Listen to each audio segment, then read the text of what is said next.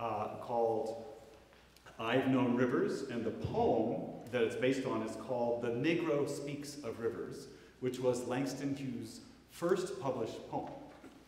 So this is a setting from the 1950s by the composer John Wesley Work, and uh, it's, it's, it's the kind of music that makes you think. So we hope you enjoy.